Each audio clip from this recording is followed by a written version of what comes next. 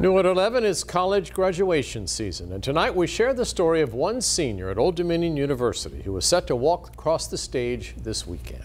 After shuffling through a foster care system in high school, 21-year-old Melvin Roy is defying the odds. He's using his experience as motivation to help and inspire today's youth. Angelique Arintok has his story.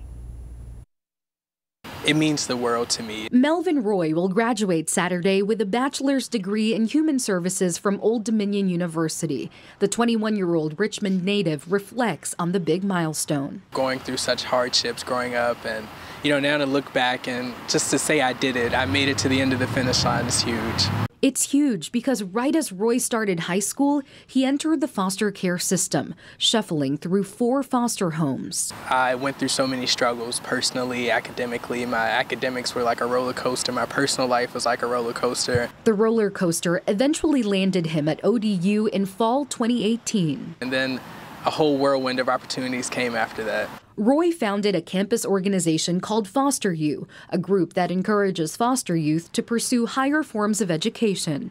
While advocating for them, Roy also wants to set an example. According to the National Foster Youth Institute, only 3% of former foster youth earn a college degree. There's this story that's still within me, and there's a motivation that's within me to, you know, make things better for those kids behind me. And during college, Roy stayed busy, getting involved with other organizations and interning every summer. Being so young, being so mature with my head on straight, I now see my future very clearly. He continues to stay busy as he pursues a master's degree at Regent University. By the end of this month, Roy will also start an internship in Washington, D.C.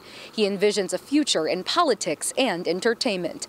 For 13 News Now, I'm Angela Angelique Arintok think Roy can do whatever he chooses to do. Yeah. He credits his first foster mother for inspiring him to help others. Head to Angelique's Twitter page where you can watch another piece of her conversation with Roy. Graduation ceremonies are tomorrow and Saturday at ODU. Actress Angela Bassett will deliver a commencement address at the College of Arts and Letters ceremony tomorrow.